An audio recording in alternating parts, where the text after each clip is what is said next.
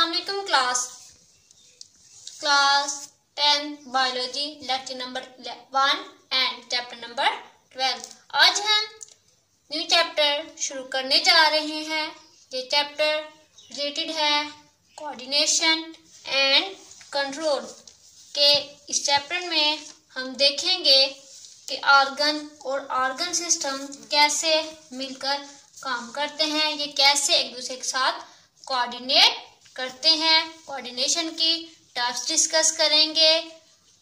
Human nervous system study करेंगे।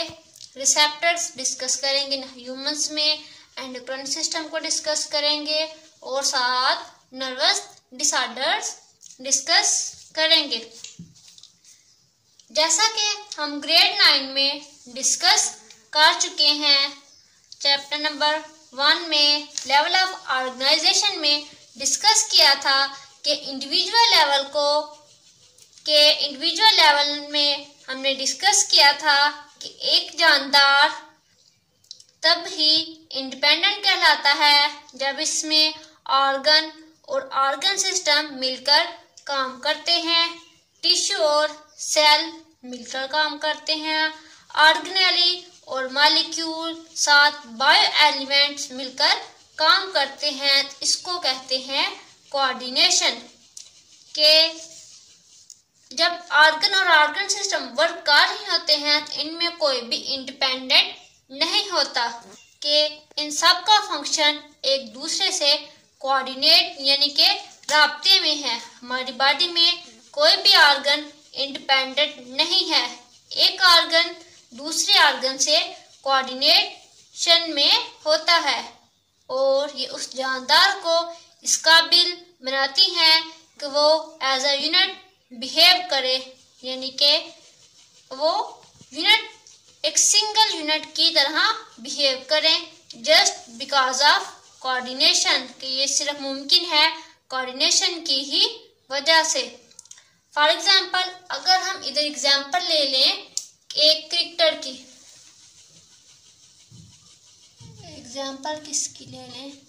Cricketer की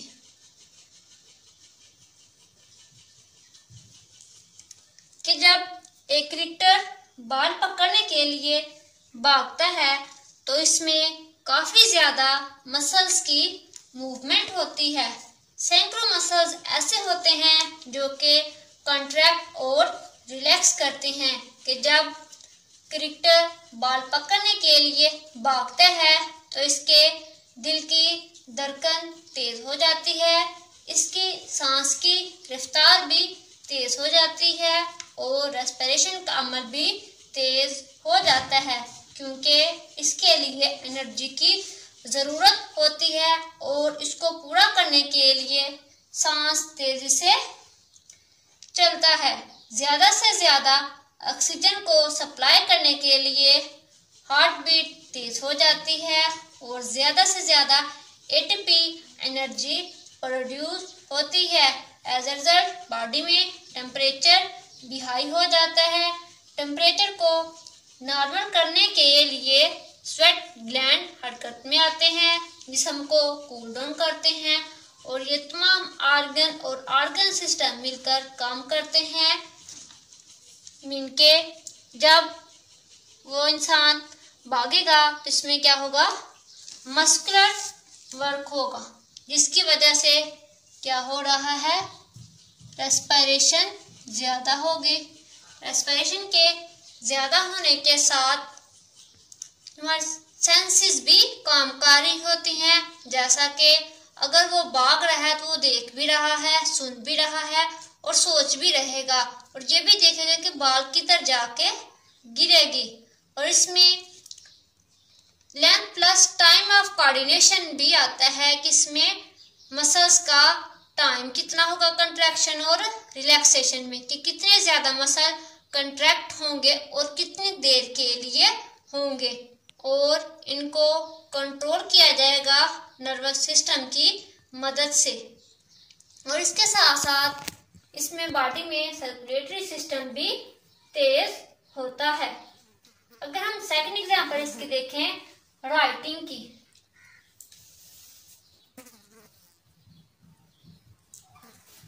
suppose that आप क्या कर रहे हैं, कुछ लिख रहे हैं। तो हमारे हाथ और हाथ के साथ, हमारे फिंगर्स हमारे मसल्स हमारी आईज वगैरह और हमारी थिंकिंग के साथ मिलकर काम करते हैं और तभी मूवमेंट पैदा होती है। मीन के इस प्रोसेस के दौरान हमारी मसल्स आईज थॉट्स कोलेबोरेशन करती हैं और इंटरेक्ट करती हैं मूवमेंट के साथ। नेक्स्ट हम अगर इसकी प्रॉपर डेफिनेशन देखें coordination it dwell when a body work as a one unit and its organ work in harmony with each other के कोऑर्डिनेशन तब पैदा होगी जब एक जिसम, एक यूनिट के तौर पर काम करता है और इसके तमाम ऑर्गन मिलकर काम करते हैं। मीन के अगर हम कोऑर्डिनेशन की सिंपली बात करें कि बॉडी के सेल्स ऑर्गन और ऑर्गन सिस्टम का मिलकर काम करना कोऑर्डिनेशन कहलाता है। नेक्स्ट हम डिस्कस करते हैं टाइप्स ऑफ़ कोऑर्डिनेशन कोऑर्डिनेशन की टू फर्दर टाइप्स हैं। एक हमारे पास नर्वस कोऑर्डिनेशन है और एक हमारे पास केमिकल कोऑर्डिनेशन है।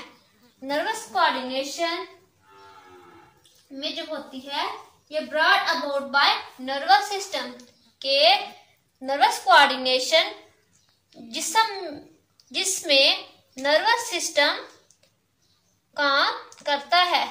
कि नर्वस कोऑर्डिनेशन में क्या शामिल होगा? नर्वस सिस्टम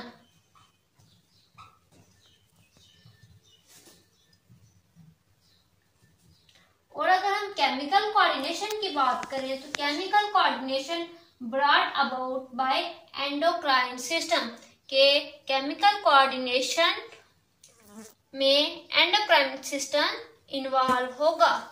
एंडोक्राइन सिस्टम जानवरों की बॉडी में दोनों तरह की कोऑर्डिनेशन के सिस्टम होते हैं के एनिमल्स में ये कोऑर्डिनेशन दोनों तरह की होती है। नर्वस कोऑर्डिनेशन भी होती है और केमिकल कोऑर्डिनेशन भी होती है।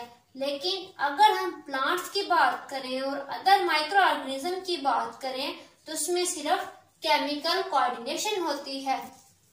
प्लांट्स में सिर्फ़ कौन सी कोऑर्डिनेशन होती है? केमिकल और साथ माइक्रो ऑर्गेनिज्म में।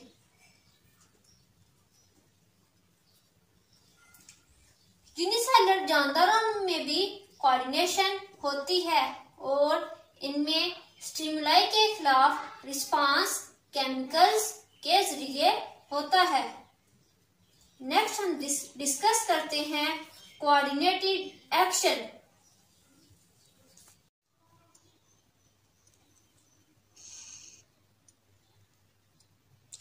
रिसेप्टर ये ऐसे ऑर्गन हैं जिनका बुनियादी काम स्टिमुलाई को डिटेक्ट करना। के रिसेप्टर क्या करते हैं? डिटेक्ट स्टिमुलाई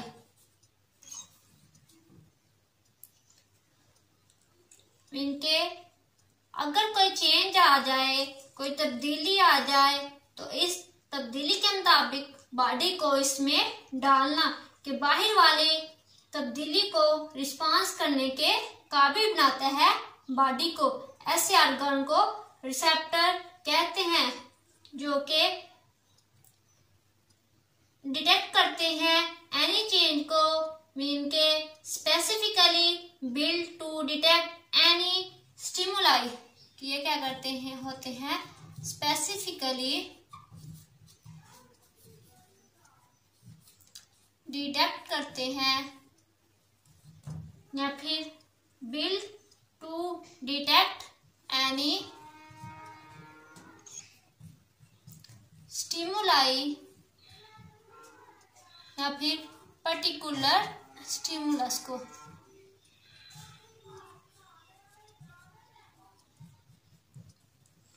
और इसमें जो ऑर्गन्स होते हैं, जो मखसूस होते हैं, वो हमारे पास कोई ऑर्गन भी हो सकता है।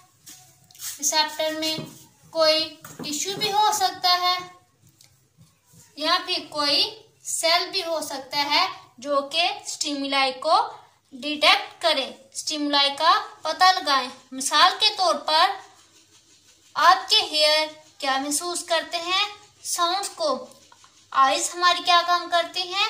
रोशनी को विजुअलाइज करती हैं। इमेज की विजुअलाइजेशन में हेल्प करती हैं। ऐसे ही हमारा नोज़ है, जो कि एयर में मौजूद केमिकल को डिटेक्ट करते हैं कि कान, आवाज़ की लहरों को और आँखें रोशनी के स्टिमुलाई को डिटेक्ट करती हैं और नाक वहाँ में मौजूद केमिकल्स का पता लगाते हैं।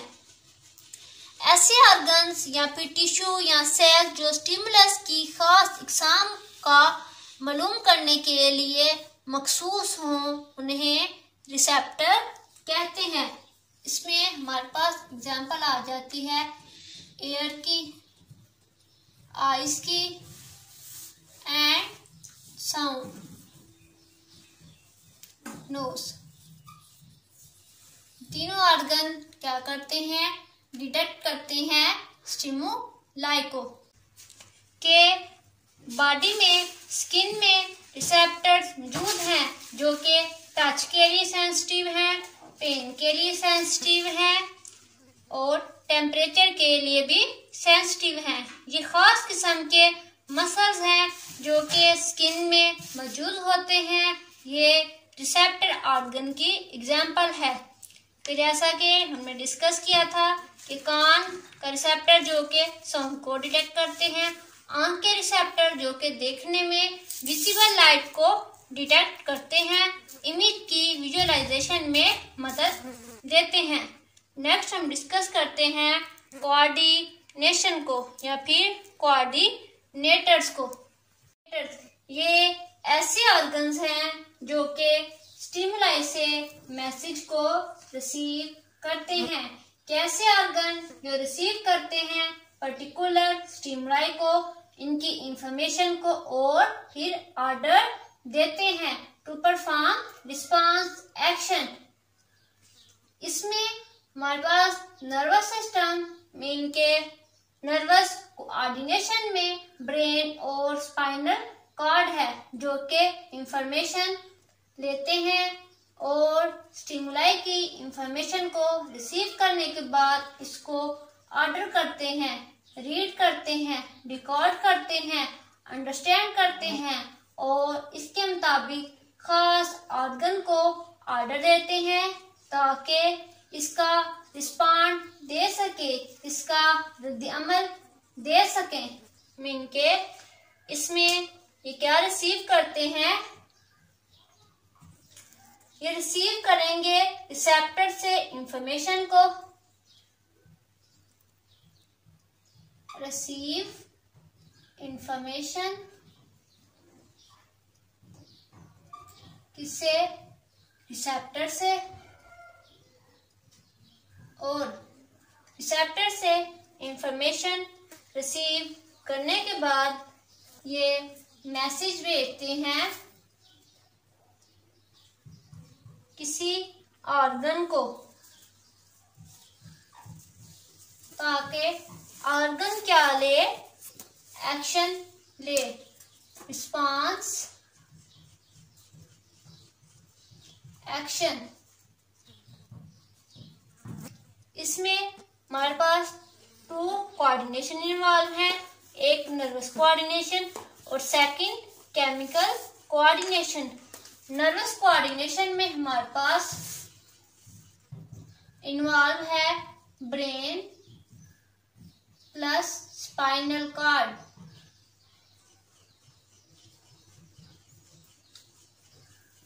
brain और स्पाइनल कार्ड क्या करते हैं? इंफॉर्मेशन को रिसीव करते हैं न्यूरॉन्स के थ्रू और इंफॉर्मेशन नर्व इम्पल्स की सूरत में वसूल होती है और मैसेज भेजती है और ऑर्डर देती है ताकि प्रॉपर एक्शन लिया जाए। दूसरी हमारे पास इसमें कोऑर्डिनेशन है, वो है chemical chemical coordination chemical coordination में बहुत से एंडोक्राइन कोऑर्डिनेटर्स इन्वॉल्व हैं। इसमें क्या इन्वॉल्व है? Endocrine system